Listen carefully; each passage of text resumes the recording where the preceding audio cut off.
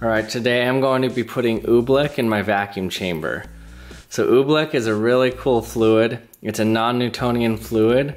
So what that means is that its viscosity is dependent on the shear rate. So the harder you try to move it, the more it acts like a solid. And when you don't try to move it, it acts like a liquid. So you can see when I strike it with a hammer, it's almost like I'm just hitting a solid because the shear rate is very high, so the viscosity becomes very thick, almost like a solid.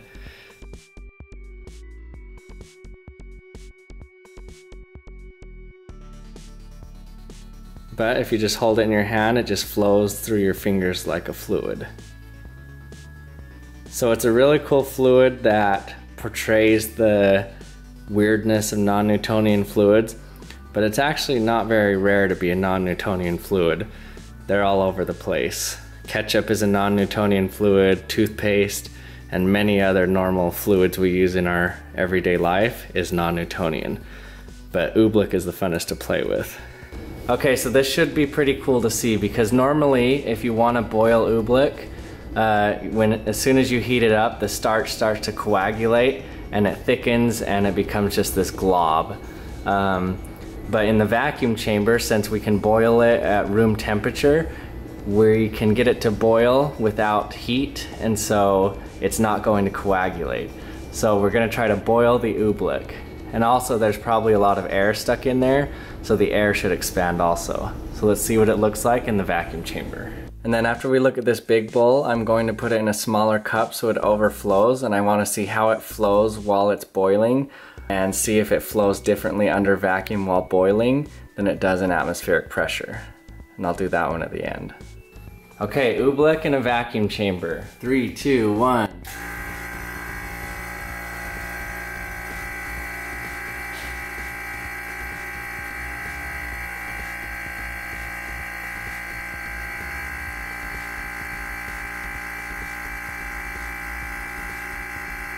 Looks like it's starting to release some of that air.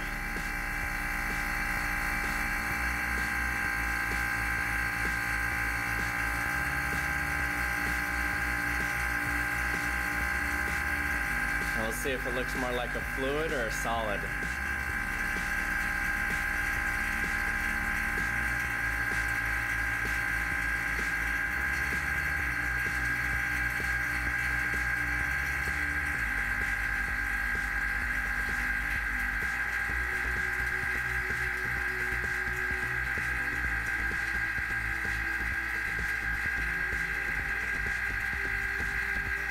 Okay, I can't really tell if it's boiling or that's just the air inside releasing. But it's definitely expanding a lot.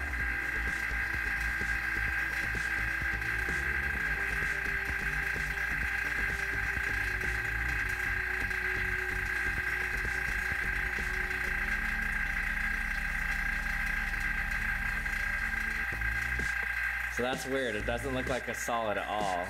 That just looks like bubbling liquid.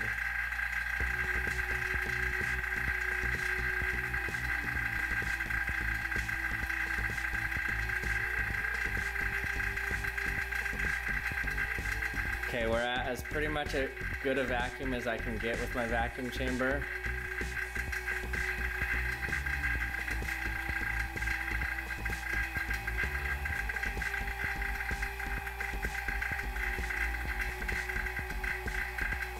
What boiling oobleck looks like.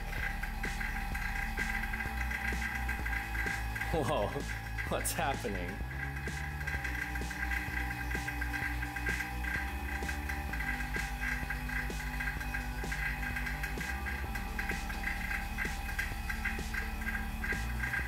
Wow, that's weird.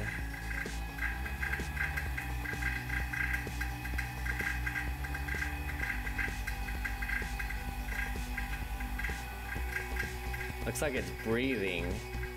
That's weird. So what's interesting is that I had put food coloring in this to make it green.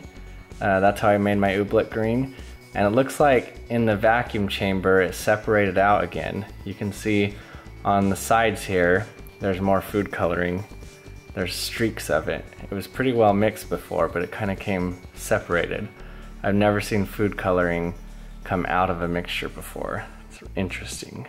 Okay, so I'm gonna do it one more time, but this time I wanna see if it overflows and starts flowing down the cup, does it drop and look like liquid or a solid when it's under the vacuum?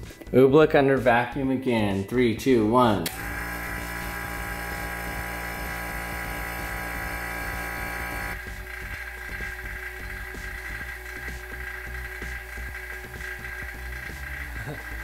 Okay, it's overflowing, but not moving very fast.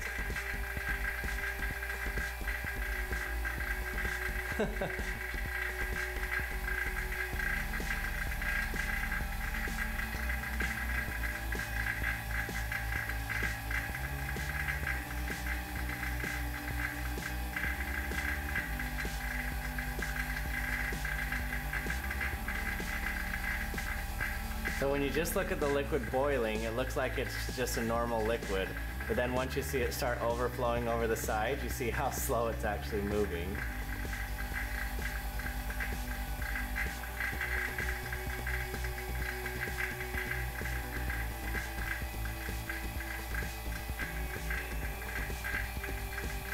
Finally, it's dripping.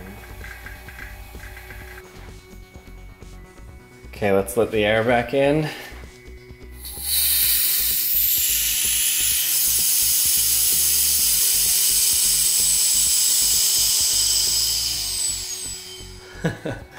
That's pretty cool.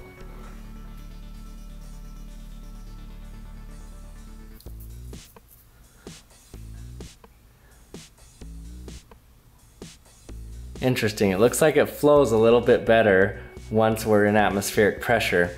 I think because there's not bubbles pushing out against it, so the shear rate is not as high, so it flows more like a liquid. At least that's what it looks like to me. Looks like it's going a little bit faster. Hey everyone, thanks for watching another episode. If you haven't subscribed yet, remember to subscribe and you can comment in the comment section with what you'd like to see me do next, uh, what you'd like to see me put in the vacuum chamber or my hydraulic press, or anything else cool or scientific you'd like to see me do, let me know in the comment section, and I'll see you next time.